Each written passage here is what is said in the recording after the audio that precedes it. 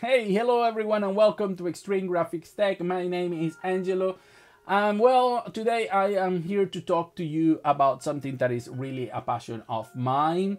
Um, and it's not a passion like a recent passion ever since FSR or DLSS came on. No, it actually, uh, I think is something that I have been praising since the introduction of the PlayStation 4 Pro. And the reason I'm talking about the PlayStation 4 Pro is because I think that's the first time when we actually, as a community of gamers, started talking about reconstruction techniques, like, for example, the checkerboard that uh, was used at the time to try to make the games look more 4K. So, I think ever since then, many people started to use it as a weapon, like, oh my god, these are not real pixels and so on. But I always been a defender that the fact that we can use techniques to get 80 or 90% there while saving 50 or 40% of performance is actually an amazing trade-off. And this is has just gotten better because now we have FSR, we have DLSS, XeSS, and now Microsoft is introducing DirectSR, which is something that is not a, like a reconstruction technique, but is a way to make the integration easier. The reason I find all of this fascinating is because I love fake pixels. I love them, yum, yum, yum, yum, and I eat them with very, uh, um, very joyous fake pixel, fake frames. I think they are phenomenal. And what the reason I say this is because you have to understand something. The need for power or performance has grown exponentially. Before we were we were playing at 800 by 600, 640 by 320, 640 by 480, and so on and so on. Then let's say we settle at, at 1080p.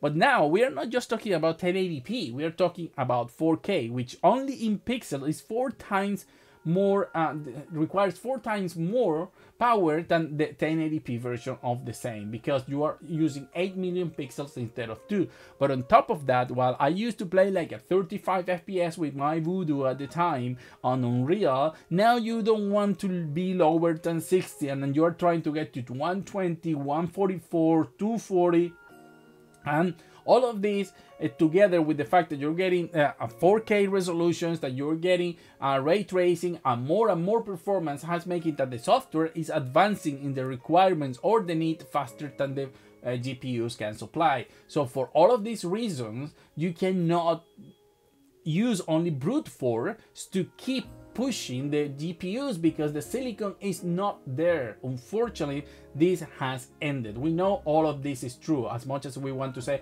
no, it's Nvidia that doesn't want to release power for cards because if that's the that's true, why hasn't AMD done it? Because they could then just take the market by releasing a card that is much more powerful than Nvidia. Because if they if Nvidia release a card that is not powerful enough and they could, well AMD AMD is right there, right? If they release a GPU uh, double as fast as any Nvidia for the same price, people are going to flock to AMD. But the reason is none of them actually can deliver what they can at the price we're expecting. So they have to come up with new solutions, um, more intelligent or faster solution to render the games uh, the, at the levels we want and at the quality we want. So these are the reasons why now we have FSR, DLSS, XeSS. I understand many people keep using the rhetoric that these techniques are only used so so the developers are lazy and they don't optimize. I, and I'm sure there may be some games where this is true um, uh, probably more than one. Okay, but this is not always the case because there are games like Avatar or Alan Wake that they are really pushing the graphic envelope. But if they want to push the envelope now, they need to use these techniques because Avatar is a completely ray trace game, even when you don't have a ray trace card.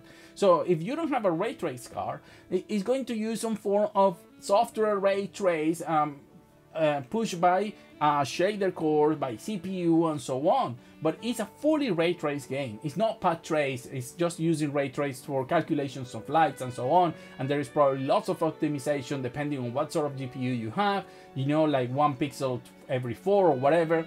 But the point is that to get that kind of fidelity, we are going to need more and more GPU power. And before, probably we'll have already changed our RX 580 or our RX 10 60 because um, without these techniques, those two GPUs would not be able to play these games at a decent level. it, they will not. But thanks to FSR, in this case in particular, more thanks to AMD that made it agnostic, um, we can play those games, okay? Even today, a 2023 game that's been released, very powerful, we can still play it because we have these techniques that allow us to run the game at a decent resolution and frame rate. And to illustrate what I'm saying and what I'm trying to show you, I have some examples here. And I'm going to start with Cyberpunk 2077 in the overdrive mode. You know, this mode is very heavy, it's path trace, and I'm also running at 1440p on the NVIDIA RTX 4060. So as you can see there, it's struggling to play this game. Uh, it's absolutely chaotic, and it's just like 10 frames, 12 frames per second, which makes half the cinematic value. We are not even there. But there is no denying that the game looks absolutely beautiful with the lightning, the shadows, the reflection. Everything looks so gorgeous. But this is not a bad optimized game, it's just tremendously demanding. So this is not for everyone and not everyone will have to play, will need a, like an RTX 4090. But by activating only two options, my friends, which is F DLSS in performance mode and uh, frame generation, we get this really nice and smooth and beautiful gameplay. We can even go to ultra performance if you want. And yes, I know this there, there is some issues, it's not perfect, but I will dare to say that this is much better to play on a PlayStation 5 at 1440p 30 FPS with FSR with uh, just two ray trace options. So my point at the moment is that we are getting an amazing experience on a path trace game and we are getting like 5 times more frames by activating two simple options and I dare you to say that you won't prefer to play it like this than in many other options if you have the opportunity. And that's the same for another CD Projekt game that was updated last year and it looks amazingly beautiful which is The Witcher 3. As you can see here, when we activate everything, this game runs at just 20 FPS. And once again, this game looks so much better now with all the lights casting shadows and, you know, illuminating the surrounding in a believable and beautiful way. But this there is no way we can play like this because we are using native settings okay? Uh, native resolution. And yes we could uh, lower the resolution or lower the settings but why lose all that beautiful graphics? Is there are other ways to get like an 80 to 90 percent of the same we have right now without sacrificing? And that's by activating frame generation and DLSS performance. Once again, we're only rendering like 20% of the real frames we're seeing, but the end is the perceived quality is still amazing. Uh, I honestly, if you are playing, just playing, and I never show you or tell you, you are going to have a hard time telling me you didn't know it was native. I mean, yes, there are going to be signs, but if you start looking for them, the point is that when you are playing, you forget about all of that. You just immerse in the game. And as you can see we have a much better experience. And we didn't have to sacrifice the sexing. Of course when you're playing you can play with that so you can get that perfect balance. But the thing is that you're preserving most of what makes the game beautiful.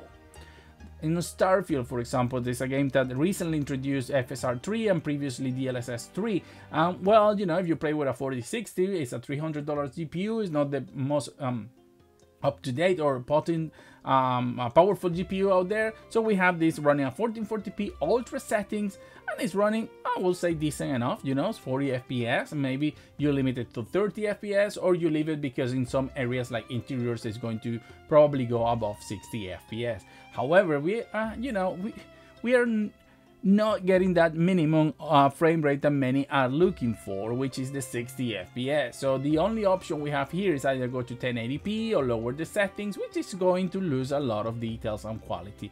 But now we activate DLSS performance and frame generation on, we go up to 80 FPS in this area and we have not lose all the settings, shadow, uh, light and so on and so on that makes the game beautiful but and the resolution even though it's lower, is we're not really missing that much. And the frame generation add that extra touch of um, let's say smoothness to the image because playing it you must say ah but it introduces lag but for these sort of games, I don't think you're going to notice or doing anything. And it's better than when we were playing on 40 FPS. So we are getting less lag technically because it's running faster now with DLSS performance under it.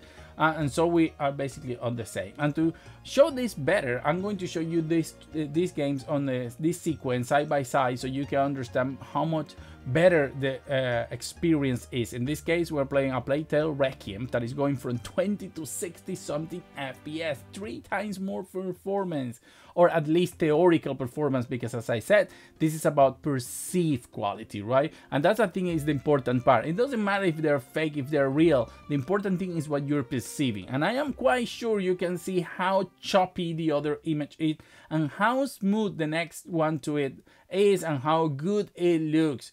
I don't think you are going to see many difference between them. Yes, there are. I'm not saying there are not, and that would be lying, but I don't think that the the difference that is losing that much. What I mean is you're losing more by lowering the settings or by lowering the resolution by just activating these settings. And I think in this case, this game is making great use of the technology and you're going to enjoy even on this car a very nice um, performance uh, and a very nice gameplay on this one.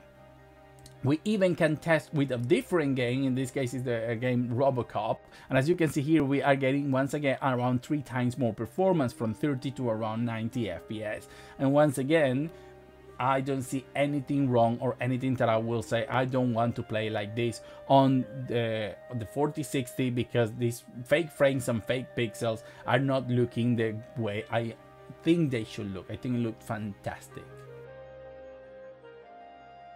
So as you saw, we took an RTX 4060, which is not like the highest level car, it's only $300 car, and we are playing games that initially will run without these techniques at 10 or 20 FPS. And we are taking them above what I will call the level of playability, and in some cases close to 60, some cases even over 60, and we could take them further. I just didn't want to push it more because I was pushing for higher fidelity and so on. I have the games on high, and so we I could on ultra i could have put the game on medium and get even better performance and so on but my point was trying to show you how much performance we can gain by just changing two settings and be there and still have a very good and playable experience right so you may think, yeah, but you're using our RTX 4060, that's the latest series of GPU, is at the same time, even though it's $300, which is not little money, but it's still, you know, um, a powerful car, one of the latest one. But this is the beauty of these techniques, that this is not only for this sort of cars. If we,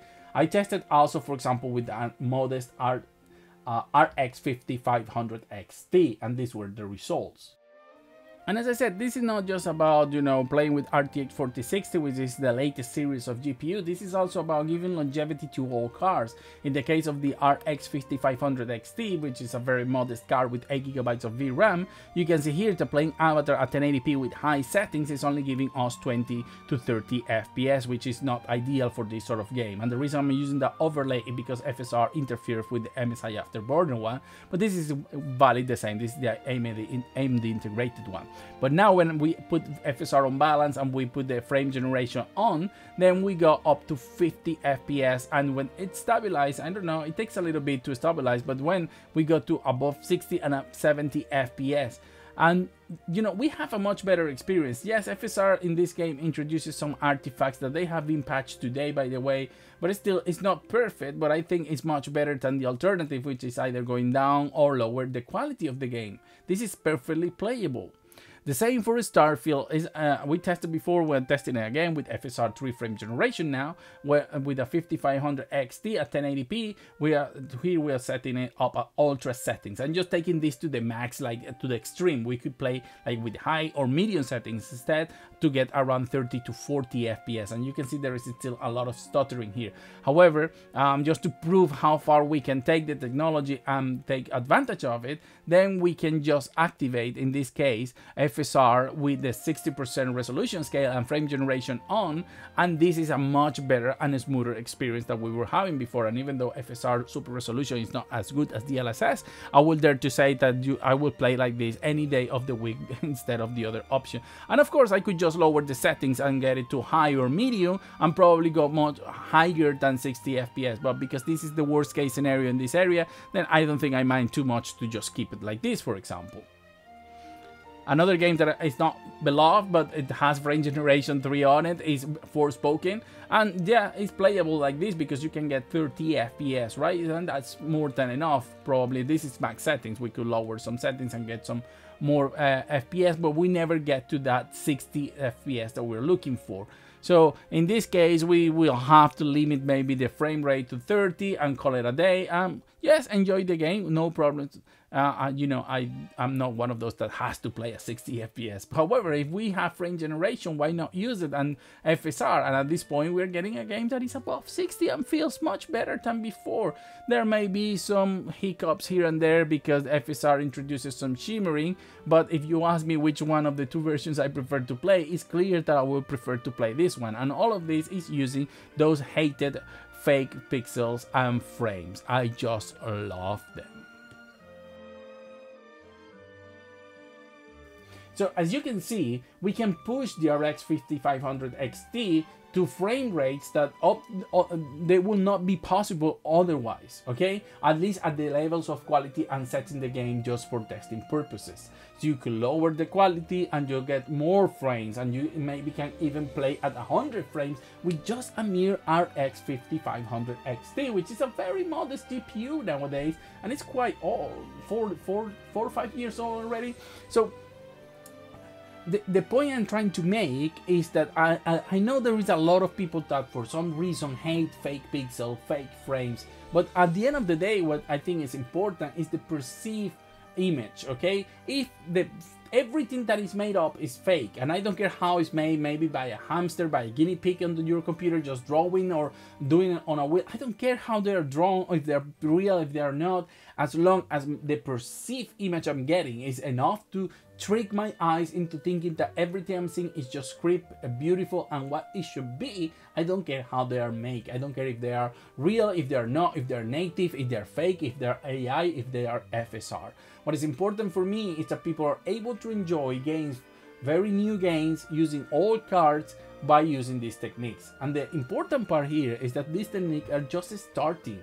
I think we're going to see more and better uh, uh, systems that are going to allow to have better situation. For example, the next Nintendo Switch 2 may come with DLSS. So, so something that we couldn't do before, that was, you know, play a higher resolution on Nintendo Switch, now may be possible due to DLSS just by using that because we know the power and power constraints that uh, temperature and efficiency that we have like on a portable system. Is not ever going to be the same as a um, normal console. So if we can have that sort of um, performance even on a Nintendo Switch by using these sort of techniques I think it's a win-win for everyone.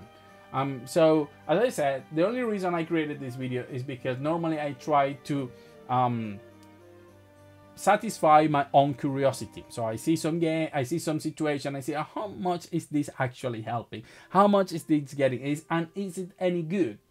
And you know, I, I want to answer those questions for myself and I make a video about it and I share it with you guys because I think, eh, well, it's you know, some of you may have the same questions and would like to know. So normally that's why I do this sort of video. Also when I am not very imaginative sometimes and I just come up with whatever I come first to my mind. But as you can see here, I think this is sort of an interesting topic. I don't know what you think about, you know, uh, scaling resolution, frame generation and all those uh, area. So let me know in the comments below. And also please, if you can, subscribe to the channel. We're very close to a 1000 that will allow me to monetize. I'm going to be honest here. I would like to be able to monetize this channel because there are videos that have more than 30,000 views that I have not been able to get a penny from or a cent from. So uh, if I am able to monetize the channel, I will really love that. So um, if you can subscribe, you will do me, you will be doing me a big favor. So thank you very much and as always, see you on the next video.